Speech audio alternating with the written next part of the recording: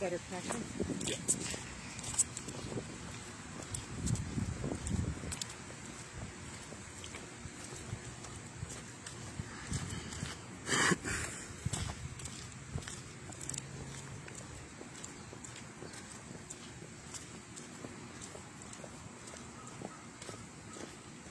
Yep, there's a sign up. That's cool.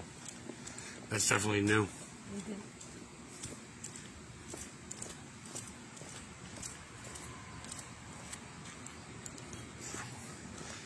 All right, so there is, hey Betsy, there is the 1796 Knight House. It's the oldest uh, frame house. It's off Goff's Corner, Lewiston Falls, and Auburn Village Corp. Now the Civic Center of the city of Auburn, incorporated in 1869. So basically, it's the oldest standing house, and they call it Lewiston Falls, but it's now Lewiston. There's the bridge. So Lewiston's on that side. We're in Auburn. They call it the Twin Cities in Maine. That's where they have the fireworks go off every year, and they have all the parades and functions and all that stuff. They block the bridge off. But here's the falls. That's Indian Rock over there. Supposedly that some natives put a curse that one white man a year will die on this river. This is the Androscoggin River. Starts way up, I think by J and it comes out into the ocean, goes to Lisbon and Brunswick and Durham. But uh, they open the house once a year here do tours. I've been inside a long time ago, but uh, yeah, it was a long time ago. Let's see what they got. It's like an old bed or something. Never know till you try. What's that, that marker? I haven't seen that yet. I'll take a picture. Six times with 12 different owners. No shit. Over the years, yeah. Named for the Knight family, the building's longest occupants, the Knight House, stands as the oldest frame house in downtown Auburn. It's a typical example of houses built in the late 1700s. Nathaniel Knight was the butcher and meat dealer. Caleb Lincoln, a Revolutionary War veteran, built this house in 1796 when Maine was still Commonwealth of Massachusetts. Originally located about a mile from its current location on Cross Street near North River Road, Knight House has been moved, yeah, six times and had 12 different owners. The house is furnished with typical late 19th century decor.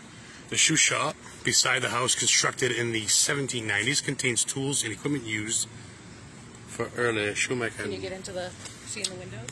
Yeah, there's a bed in that one. I've been in it for a long time ago, but here's the Downing Shoe Shop built 1790, moved from Perkins Ridge Road in 1981, so that's pretty neat. This is all free. This is just stuff you can just walk around. Like I said, during the day during the summer, they'll actually have the tours and shit. You can go in. Back windows aren't open.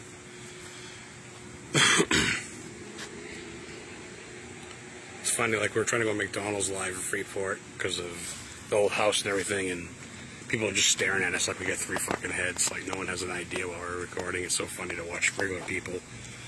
Like they have no clue. Like there's people walking by, like, why the fuck are they recording this house? Because it's historic and possibly haunted. Just keep walking. But um, funny story about the McDonald's thing. We went in and we grabbed a, a dollar drink each, and uh, of course Heather, my girl, had to say, "Hey, uh, this place was built in 1850, huh? Any any hauntings? Anything weird?" And the girl working goes, "Oh no, really? What do you mean?" She goes, "Well, what do you mean?" She goes, "That ice machine over there moves on its own at night, and ice falls on its own. It makes noises." We go, "No way." So she's like, "Yeah." So she told us a little bit about the upstairs and. This was on the McDonald's I stairs. think it's to clean off your shoes or something. But she said we can go back, talk to the manager, possibly, you know, check it out. Is he upstairs? We did some research, and uh, the dude's sons that lived there died in the house, so.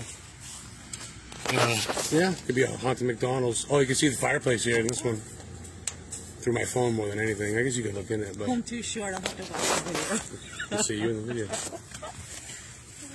A quick walk up the falls. We got a little bit time to kill, right? Before our Thai food is ready. Over here.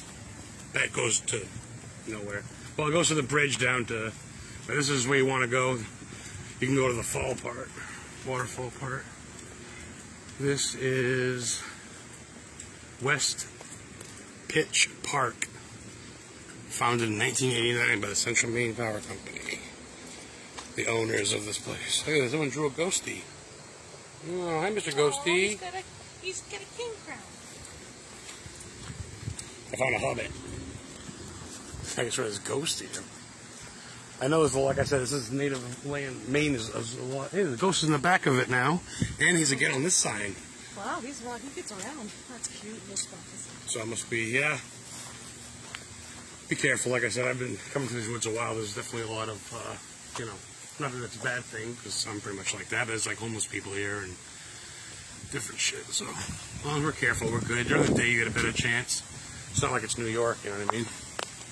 Here, the ghost again. Dude's tagged up. Betsy, yeah. Oh, yes, yeah, they are boot cleaners or horse poop. Oh, nice. Thanks. That's what I thought. Thanks, Betsy. She's laughing at you. Hey, Megan.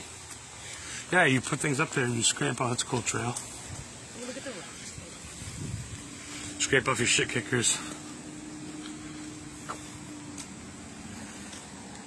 So, we drove to Auburn from Saco.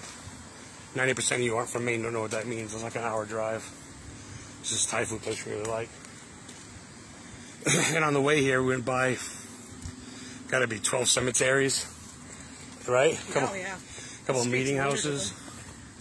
So on the way back, we're gonna take our time, probably go check a couple out. We went by the Bagley House, also known as the Royalsborough Inn, which is now known as the Bliss House. And uh, a lot of shit went down there. Yeah, opening up as a B&B. They got four rooms. Very quiet, modest house, but the uh, the original uh, second owner, the Blisses, Miss Bliss, the wife, had a heart attack and died and fainted on the uh, on yeah in there. There's people making out. Here we go. Bunch of around people making out. That's why I go at night because most of you humans are sleeping. Yeah. You get the whole fucking earth to yourself I after like have 11 yet to p.m. run into spirits with you. Either they're doing drugs or they're fucking.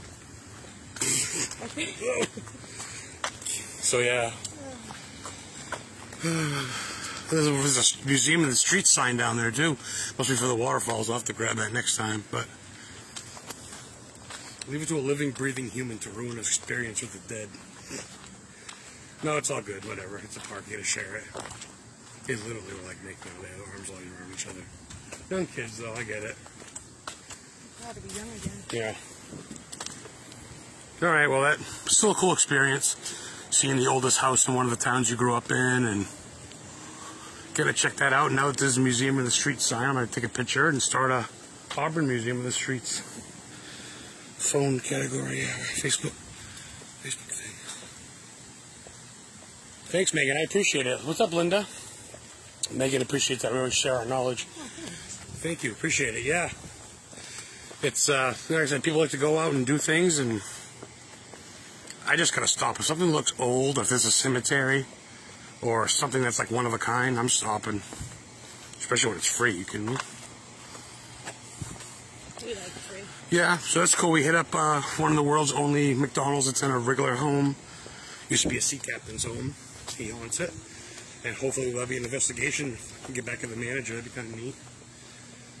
Passed like 10 cemeteries. A couple from 1833, I think.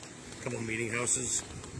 Went by Stephen King's home, on where he was born and raised in Durham, Beautiful river. in Muskegon. And now we're at the oldest house in uh, in Auburn, Lewiston with the old shoe shop. So we're not in it. I mean, like I said, I have been in it, but something to at least check out and touch the shingles and take a selfie. Why not? People that have never been here get to know about it. And maybe one of you guys will like it and research it yourself and make it a bucket list thing. But uh, yeah, there it is. The Knight House, 1796. People in California are like, we got stuff 1820s. I go, well, Yeah, this was before Maine was Maine. Call me when it's been 1700s or older. Good stuff. Real shit. Real shingles, you know. Real, real Eave. Real handle. Real alarm system that's going to go off in a minute. But, all right. I think some pictures. Thanks for watching, guys. Get out there and do something. Enjoy your time. Aaron, what's up, buddy? Have a good day, guys. Support your local graveyard. Support your local cemetery. Support me. Love you. Have a good one.